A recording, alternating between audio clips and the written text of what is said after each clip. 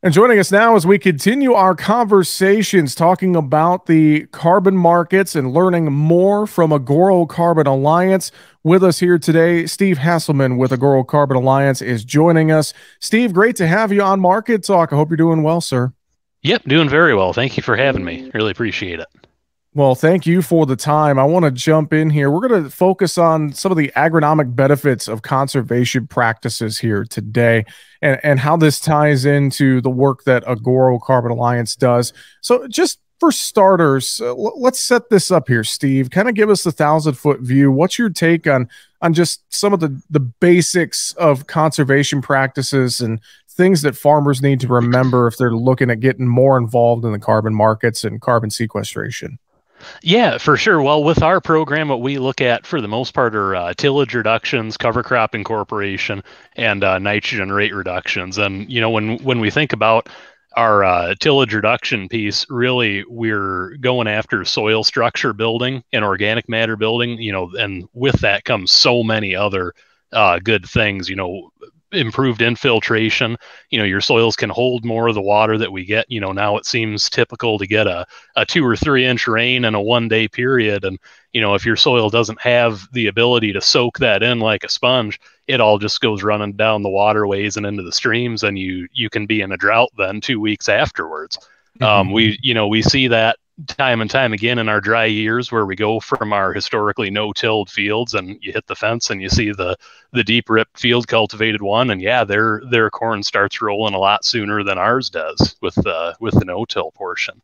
Um, so that's a, a you know a big piece of it there and also the erosion in itself you know when we can uh, when we can get away from losing you know literal tons of soil per acre off of a field you know more than just the uh, the short term fertilizer cost associated with that uh, the long term land degradation of that. You know if you if you're paying these uh, you know 10 to 15 plus thousand dollars an acre for a farm today um, you know you want to make sure that that's going to be a productive farm long term for you well you hit on a couple great things there and i think uh, Uh, the biggest one for me that I know we hear a lot about is that topsoil and losing that topsoil or trying to not lose topsoil. And I think about you know a lot of ground across the the Midwest, the plains, etc. Um, just it, folks who've already maybe done a few different things, looking at no-till or cover crops, etc. It, eh, eh, it's so important to look at that because you know we lose that topsoil, we're losing that prime prime you know soil to grow our crops in, Steve. Mm-hmm. And it takes a long time to build back. It can be gone in a you know a few years time, and you know it can take centuries to try to build that back. So it's yeah. uh it's very important to look at.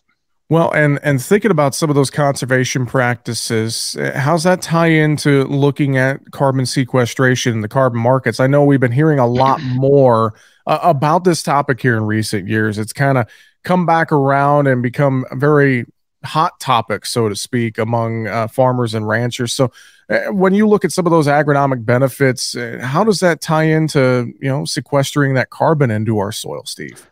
Yeah, so with uh, with those tillage reductions, the the main focus with those for our carbon um, talks, I guess, is the the uh, that strategy is keeping the carbon that's sequestered by that growing crop in the soil. You know, when you stir things up, that will over oxidize that organic matter that you've been building with that crop or the soil organic carbon. I mean, um, and that'll allow it to leave. It speeds up the carbon cycle, and it uh, it'll evaporate out, not evaporate, but oxidize off into the atmosphere, and and you lose your organic matter or your soil organic carbon. So by reducing tillage, we can t- kind of trap that down in the soil. Um, in the deep roots and and build that way, which is where our carbon credits are derived from. Um, soil mm-hmm. samples taken that that measure how much soil organic carbon is being built by these uh, plant additions. Um, the other side to that, with uh, you know, when we talk about cover crop addition, the uh, the strategy there is to actually sequester more carbon um, to to just physically pull more out of the atmosphere with a living crop doing photosynthesis longer than we would typically have a cash crop growing um, that that crop is uh, or that cover crop is continuing to pull atmospheric carbon out of the air and build it into the soil, which you hopefully will retain with the tillage reduction in conjunction with it.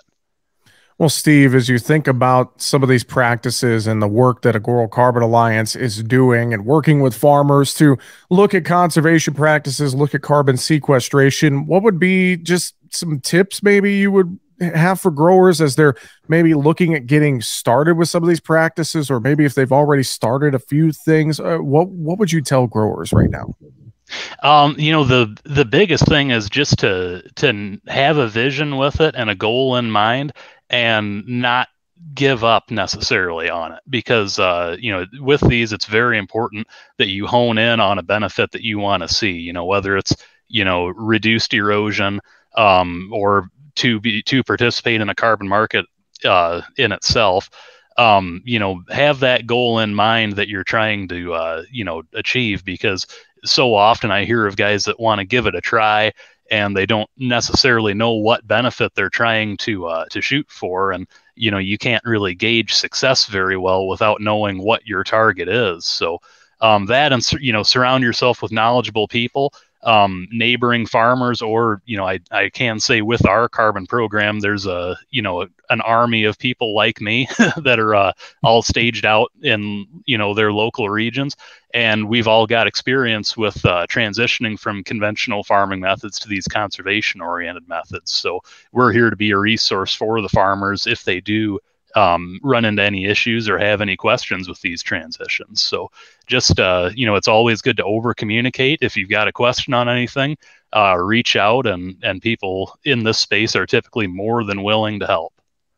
Definitely. And I know folks can reach out to Agoro's uh, grower success team that Steve was alluding to very easily. AgoroCarbonAlliance.com is a great way and a great place to get started. Steve, before we let you go, any final thoughts you have for us here this week?